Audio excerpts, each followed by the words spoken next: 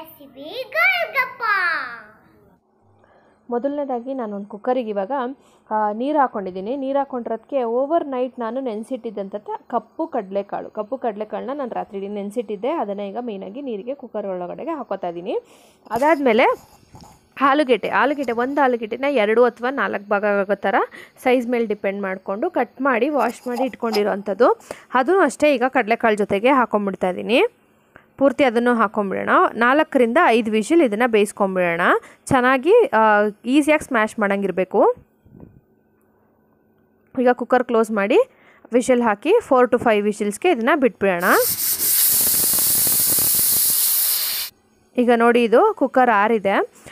Pressure ಹಾರಿದ್ಮೇಲೆ four to five whistles ಆಗಿ cooker pressure ಆರಿದೆ. ಈಗ ಇದನ್ನು ತೆಗೆದು ನೋಡೋಣ ಹೇಗೆ ಬೆಂದಿದೆ ಅಂತ. ಕಡಲೆಕಾಳಿನ ಕಲರಿಗೆ ನೋಡಿ ನೀರೆಲ್ಲ ಬ್ರೌನ್ ಆಗಿಬಿಟ್ಟಿದೆ. ಈಗ ಕ್ಲೀನಾಗಿ ಬೆಂದಿದೆ. ಆಲೂಗಡ್ಡೆ ಅಂತೂ ತುಂಬಾ ಚೆನ್ನಾಗಿ ಬೆಂದಿದೆ. ಈಗ ಆಲೂಗಡ್ಡೆನ ತಣ್ಣೀರಿಗೆ ಹಾಕಿ ಸಿಪ್ಪೆ ಸುಳ್ದು ಇಟ್ಕೊಂಡಿರೋವಂಥದ್ದು ಸ್ಮ್ಯಾಶ್ ಆಗಿ ಸ್ಮ್ಯಾಶ್ ಮಾಡಬೇಕಲ್ವಾ? ಹಾಗಾಗಿ ಸಿಪ್ಪೆ ಸುಳ್ದು ಇಟ್ಕೊಂಡಿದ್ದೀನಿ ಅಷ್ಟೊತ್ತಿಗೆ ನಾನು ಪಾನಿ ರೆಡಿ ಮಾಡ್ಕೊಂಡಿದ್ದೀನಿ ಇದ್ರ ರೆಸಿಪಿ ಬೇಕಂದರೆ ನಿಮಗೆ ಪಾನಿಪುರಿ ಮತ್ತು ಮಸಾಲೆ ಪುರಿ ವೀಡಿಯೋದಲ್ಲಿ ಇರುತ್ತೆ. ಡಿಸ್ಕ್ರಿಪ್ಷನ್ ಬಾಕ್ಸಲ್ಲಿ ಲಿಂಕ್ ಕೊಟ್ಟಿರ್ತೀನಿ ಚೆಕ್ ಮಾಡಿ. ಈ ಪಾನಿಗೆ ಐಸ್ ಹಾಕಿ ಬಿಟ್ಕೊಂಡಿದ್ದೀನಿ ಕೋಲ್ಡ್ ಆಗಿರಲಿ ಅಂತ. ಕೋಲ್ಡ್ ಆಗಿದ್ದಷ್ಟು ಪಾನಿ ತುಂಬ ಟೇಸ್ಟಾಗಿರುತ್ತೆ ಆದರೆ ಇದಕ್ಕೊಂದು ಸ್ವಲ್ಪ ಎಕ್ಸ್ಟ್ರಾ ಏನು ಅಂದರೆ ಸಾಂಬಾರು ಸೊಪ್ಪು ಮತ್ತು ಈರುಳ್ಳಿನ ಮೇಲೆ ಸ್ವಲ್ಪ ಆ್ಯಡ್ ಮಾಡ್ಕೋಬೇಕು.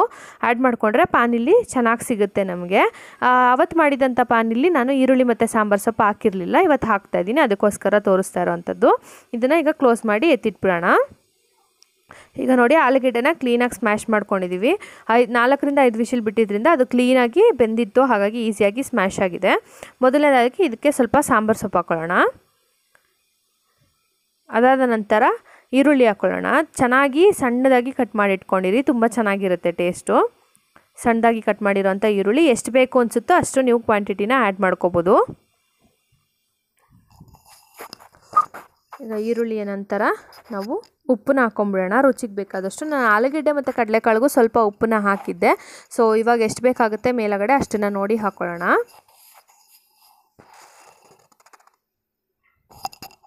ಅದಾದಮೇಲೆ ಪೆಪ್ಪರ್ ಪೌಡರ್ ಇದು ಕಾಳು ಮೆಣಸಿನ ಪುಡಿ, ಅಚ್ಕಾರದ ಪುಡಿ, ಖಾರಕ್ಕೆ ಬೇಕಾದಷ್ಟು.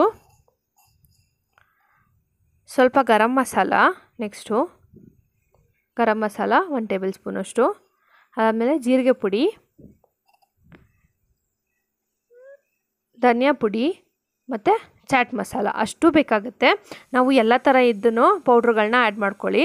ಮತ್ತು ಕಡಲೆಕಾಳನ್ನೂ ಅಷ್ಟೇ ಸ್ವಲ್ಪ ಸ್ಮ್ಯಾಶ್ ಮಾಡಿ ಇಟ್ಕೊಂಡಿರೋ ಅಂಥದ್ದು ಪೂರ್ತಿಯಾಗಿ ಗಟ್ಟಿಯಾಗೇ ಇದ್ದರೆ ಆಲೂಗೆಡ್ಡೆ ಮತ್ತು ಕಡಲೆಕಾಳು ಮಿಕ್ಸ್ ಆಗೋಲ್ಲ, ಒಂದಲ್ಲ ಕ್ಲೀನಾಗಿ. ಹಾಗಾಗಿ ಸ್ವಲ್ಪ ಸ್ಮ್ಯಾಶ್ ಮಾಡ್ಕೊಳ್ಳಿ. ಸ್ವಲ್ಪ ಸ್ಮ್ಯಾಶ್ ಆದರೆ ಕ್ಲೀನಾಗಿ ಒಂದಕ್ಕೊಂದು ಹೊಂದ್ಕೊಳ್ಳುತ್ತೆ. ಈಗ ಇದನ್ನು ಪೂರ್ತಿಯಾಗಿ ಮಿಕ್ಸ್ ಮಾಡ್ಕೊಳ್ಳಿ. ಎಲ್ಲ ಮಸಾಲ ಸ್ಪ್ರೆಡ್ ಆಗೋ ಥರ ಕ್ಲೀನಾಗಿ ಮಿಕ್ಸ್ ಮಾಡ್ಕೊಳ್ಳಿ. ಇಷ್ಟೇ ನಮ್ಮ ಗೋಲ್ಗಪ್ಪ. ಈಸಿಯಾಗಿ ನಾವು ರೋಡ್ ಸೈಡಲ್ಲಿ ತಿನ್ನುವಂಥ ಗೋಲ್ಗಪ್ಪನ ರೆಡಿ ಮಾಡ್ಕೊಂಬಿಡ್ಬೋದು. ಈಗ ನೋಡಿ ಇದು ರೆಡಿಯಾಗಿದೆ ಇದ್ರ ಮೇಲೆ ಸ್ವಲ್ಪ ಈರುಳ್ಳಿ ಹಾಕಿ ಬಿಟ್ಟಿರೋ ಅಂಥದ್ದು ಈರುಳ್ಳಿ ಎಷ್ಟು ಜಾಸ್ತಿ ಹಾಕ್ತಿರೋ ಅಷ್ಟು ಟೇಸ್ಟ್ ಸಕ್ಕತ್ತಾಗಿರುತ್ತೆ. ಈಗ ನಮ್ಮ ಪೂರಿ ರೆಡಿ ಇದೆ. ನೆಕ್ಸ್ಟ್ ಇಲ್ಲಿ ನೋಡಿದ್ರೆ ಚಿಲ್ಲಾಗಿರೋವಂಥ ಪಾನಿ ರೆಡಿ ಇದೆ. ಈಗ ನಾವು ಗೋಲ್ಗಪ್ಪಗೆ ಬೇಕಾಗಿರೋ ಮಸಾಲ ರೆಡಿ ಇದೆ. ಇಲ್ಲಿ ಅಚ್ಕಾರದ ಪುಡಿ, ಗರಂ ಮಸಾಲ, ಚಾಟ್ ಮಸಾಲ, ಉಪ್ಪು, ನಿಂಬೆ ರಸ, ಈರುಳ್ಳಿ ಸ್ವಲ್ಪ ಕಡಲೆಕಾಳು ಬೇಯಿಸಿಟ್ಕೊಂಡಿರೋ ಅಂಥದ್ದು ಹಾಗೆ ಮತ್ತು ಸಾಂಬಾರು ಸೊಪ್ಪು ಅಷ್ಟೇ ಇಟ್ಕೊಂಡಿದ್ದೀನಿ. ಅದೇನು ಕೇಳಿ ಲಾಸ್ಟಲ್ಲಿ ಕೊಡ್ತಾರಲ್ಲ ಸುಕ್ಕ, ಅದಕ್ಕೋಸ್ಕರ ಅಂತ ಇಟ್ಕೊಂಡಿರೋವಂಥದ್ದು. ಈಗ ನಮ್ಮ ಗೋಲ್ಗಪ್ಪ ಸ್ಟಾಲ್ ರೆಡಿ ಇದೆ. ಗೋಲ್ಗಪ್ಪ ಸರ್ವಿಂಗು ಸ್ಟಾರ್ಟ್ ಆಗೋಗ್ಬಿಟ್ಟಿದೆ ನೋಡಿ. ಮನೇಲಿ ತುಂಬ ಜನ ಇದ್ದರೆ ಅಥವಾ ಜಾಯಿಂಟ್ ಫ್ಯಾಮಿಲಿ ಆಗಿಬಿಟ್ರಂತೂ ಈ ಥರ ಎಲ್ಲ ಮಾಡೋಕ್ಕೆ ತುಂಬಾ ಖುಷಿ ಆಗುತ್ತೆ. ನೋಡಿ, ನಾನು ಇವತ್ತು ಸ್ಟಾಲ್ ಥರನೇ ಆಲ್ಮೋಸ್ಟ್ ಪ್ರಿಪೇರ್ ಮಾಡ್ಕೊಂಬಿಟ್ಟಿದ್ದೀನಿ ಸೊ ಎಲ್ಲರೂ ರೆಡಿ ಇದ್ದಾರೆ ತಿನ್ನೋಕ್ಕೆ.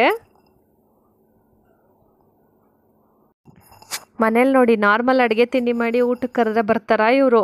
ಗೋಲ್ಗಪ್ಪ ನೋಡಿದ ತಕ್ಷಣ ಹೇಗೆ ಬಂದು ನಿಂತಿದ್ದಾರೆ ಅಂತ.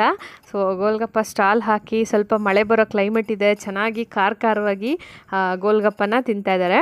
ನೆಕ್ಸ್ಟ್ ನಾನು ಸುಕ್ಕ ಮಾಡೋದು ಹೇಗೆ ಅನ್ನೋದನ್ನ ತೋರಿಸ್ತಾ ಇದ್ದೀನಿ ಸುಕ್ಕಾಗೂ ಸೇಮ್ ಪೂರಿ, ಸೇಮ್ ಮಸಾಲೆನ ಮೊದಲನೇದಾಗಿ ಫಿಲ್ ಮಾಡ್ಕೋಬೇಕು.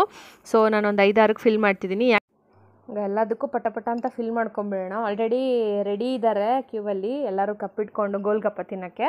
ಹಾಗಾಗಿ ಫಾಸ್ಟ್ ಫಾಸ್ಟಾಗಿ ನಾನು ಸುಕ್ಕ ಮಾಡೋದು ಹೇಗೆ ಅನ್ನೋದನ್ನ ನಿಮಗೆ ತೋರಿಸ್ಬಿಡ್ತೀನಿ. ಚಿಕ್ಕದಾಗಿ ಒಂದು ವೀಡಿಯೋ ಮಾಡ್ಕೊಂಬಿಡ್ತೀನಿ ಪಟ್ ಅಂತ.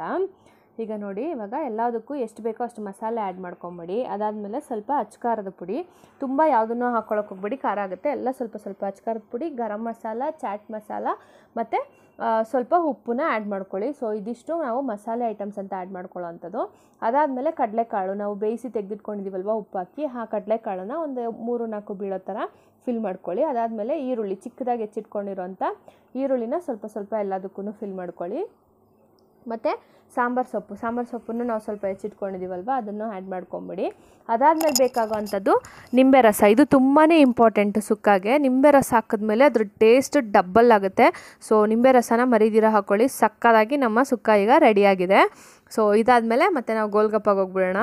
ಸೊ ಗೋಲ್ಗಪ್ಪನ ನೋಡಿ ರೆಡಿ ಇದೆ. ಸೊ ಈ ರೆಸಿಪಿ ನೀವೆಲ್ಲ ಟ್ರೈ ಮಾಡ್ತೀರಾ ಅಂದ್ಕೊಂಡಿದ್ದೀನಿ ಟ್ರೈ ಮಾಡಿದ್ರೆ ಹೇಗೆ ಬಂತು ಅನ್ನೋದನ್ನ ನನಗೆ ಕಮೆಂಟ್ ಮಾಡೋದನ್ನ ಮರಿಬಿಡಿ. ಮತ್ತು ಸನೋಸ್ ಕಿಚನ್ನ ಲೈಕ್ ಮಾಡಿ ಶೇರ್ ಮಾಡಿ ಸಬ್ಸ್ಕ್ರೈಬ್ ಮಾಡಿ.